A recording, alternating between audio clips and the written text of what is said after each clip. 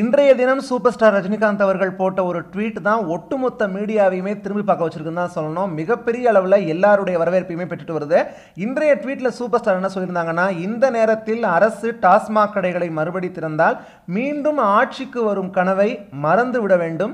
தயவு கூர்ந்து கஜானாவை நிரப்ப நல்ல வழிகளை பாருங்கள் அப்படின்னு சொல்லி ஒரு ட்வீட் தான் போட்டாங்க. அந்த ட்வீட் இப்போ வரைக்குமே நாற்பத்தி ஓராயிரத்தி முந்நூறுக்கும் மேற்பட்ட லைக்ஸையும் அதே மாதிரி பன்னெண்டாயிரத்தி ஐநூறுக்கும் மேற்பட்ட ரீட்வீட்ஸையும் இது வரைக்குமே வந்து பெற்று மிகப்பெரிய அளவில் எல்லாருடைய வரவேற்பையுமே பெற்றிருக்குன்னு தான் சொல்லணும். அதே மாதிரி எல்லா மீடியா தமிழக மீடியாக்கள்லேருந்து நேஷ்னல் நேஷனல் மீடியா வரைக்குமே எல்லாருமே முழுக்க முழுக்க இந்த ஒரு விஷயத்தை பற்றி தான் இப்போ சூப்பர் ஸ்டாருடைய கருத்தை பற்றி தான் வந்து இப்போ விவாதிச்சுட்டு இருக்காங்கன்னு தான் சொல்லணும்.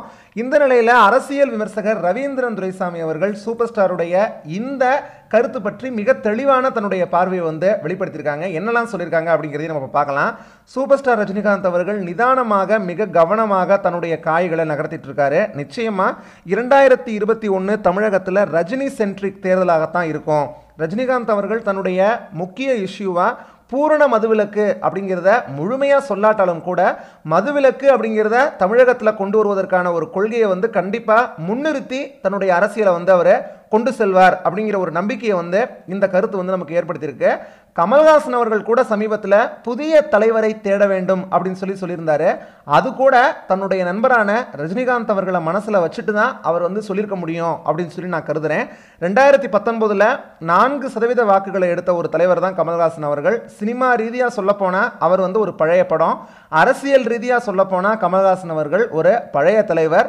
ஆனால் அவர் தன்னுடைய சக்தியை அறிவை ஆற்றலை தொடர்புகளை அமைப்புகளை ஒரு புதிய தலைவரை தமிழகத்துக்கு கொண்டு வர்றதுக்கு முயற்சி செஞ்சிட்ருக்காரு அப்படின்னு சொல்லி நம்ப தோன்றக்கூடிய அளவுக்கு அவருடைய பதிவில் புதிய தலைவரை தேட வேண்டும் அப்படின்னு சொல்லி கூறியிருக்காரு.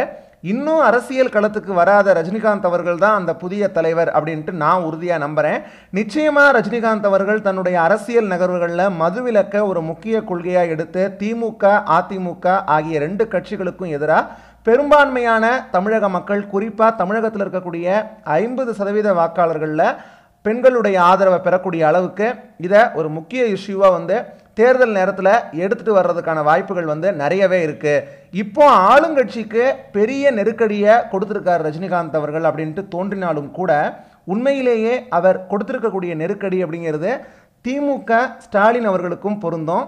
திமு கழகம் அப்படிங்கிறது இதில் வந்து என்ன முடிவெடுக்க போகுது அப்படிங்கிறத மக்கள் ரொம்பவும் கவனமாக பார்த்துட்டு இருப்பாங்க. காரணம் திமுக ஆட்சி காலத்தில் தான் டாஸ்மாக் அப்படிங்கிறது நடந்தது. அது மட்டும் இல்லாமல் அண்ணா திமுக ஆட்சி காலத்துலேயும் அது வந்து நடந்துட்டு தான் இருக்குது திமுக இதுவரைக்கும் தீர்க்கமான ஒரு முடிவை இந்த டாஸ்மாக் பற்றி சொல்லாத நிலையில் ஸ்டாலின் அவர்களுக்கு ஒரு மிகப்பெரிய நெருக்கடியை இந்த முடிவு எடுத்திருப்பதன் மூலமாக ரஜினிகாந்த் அவர்கள் கொடுத்துருக்காரு. ரஜினி அவர்கள் திமுக அதிமுக எடுக்காத பல விஷயங்களை எடுத்துட்டு தான் தேர்தல் களத்துக்கு வருவார் அப்படிங்கிறதுக்கு உதாரணமாக அந்த ட்வீட் வந்து அமைஞ்சிருக்கு.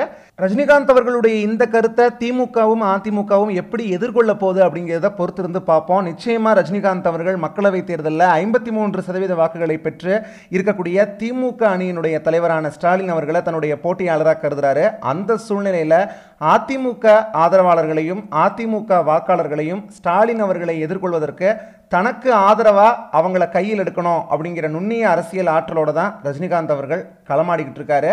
இந்த விஷயத்தில் அதிமுகவும் சேர்த்தே மிகப்பெரிய அளவில் நெருக்கடிக்கு உள்ளாகிற அளவுக்கு ஒட்டுமொத்த தமிழக மக்களுடைய ஆதரவையும் தன் பக்கம் திருப்பக்கூடிய அளவுக்கு ரஜினிகாந்த் அவர்கள் தன்னுடைய கருத்தை கூறியிருக்காரு.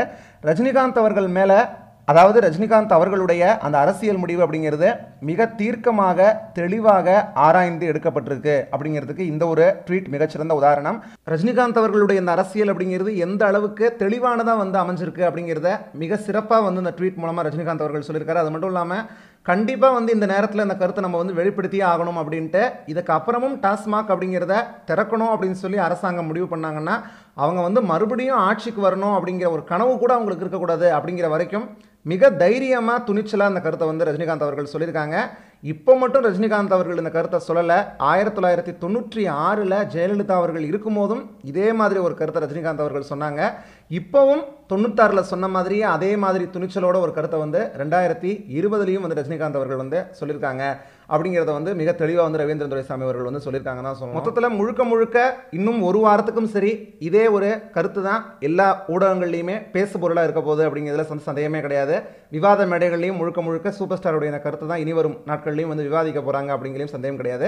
ரவீந்திரன் துரைசாமி அவர்களுடைய இந்த கருத்து பற்றியும் சூப்பர் ஸ்டாருடைய கருத்து பற்றியும் உங்களுடைய கருத்துக்களை மறக்காம கீழே உள்ள காம்பாக்ஸில் தெரிவிங்க. மேலும் இந்த வீடியோ உங்களுக்கு பிடிச்சிருந்ததுன்னா லைக் பண்ணுங்கள் கண்டிப்பாக அதிகமான பேருக்கு ஷேர் பண்ணுங்க. இது மாதிரி வீடியோஸ் அப்டேட்ஸ் தொடர்ச்சியாக பெற தமிழ் பேஜை சப்ஸ்கிரைப் பண்ணுங்கள் பக்கத்துலேயே ஒரு பெல் சிமிலையும் கிளிக் பண்ணுங்கள் தொடர்ந்து பல்வேறு வீடியோக்களில் சந்திப்போம். நன்றி. வணக்கம்.